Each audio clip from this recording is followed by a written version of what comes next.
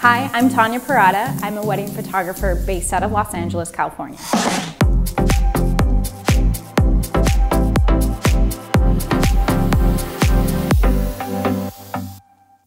So today I'm gonna show you how to create some really interesting silhouettes. We're gonna use three different lighting setups within the same location to create different looks.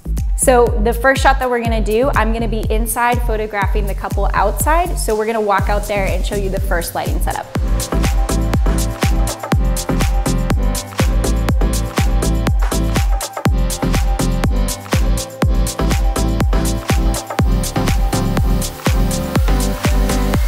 So for this first lighting setup, what I've done is actually placed a flash behind the couple and it has a blue gel as well as a sphere. And I came inside because we're actually going to frame the couple within this window.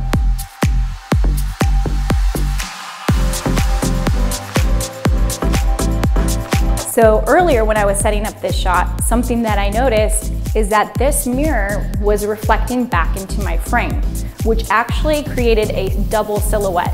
I really liked it, so I decided to keep it.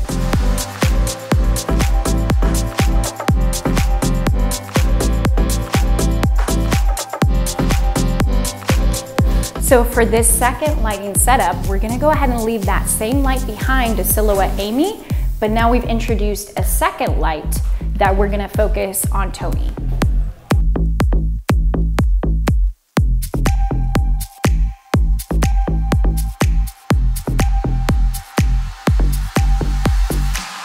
So for this shot, we're not gonna move Amy or Tony. I'm just gonna place the flash right behind him to create a silhouette behind him. So she's gonna stay outside and we're gonna create a second silhouette with him.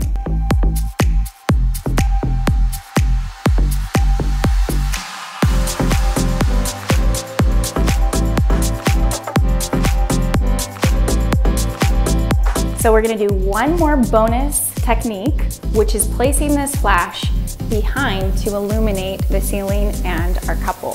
So I'm gonna just place this behind them with a blue gel and have them sit down.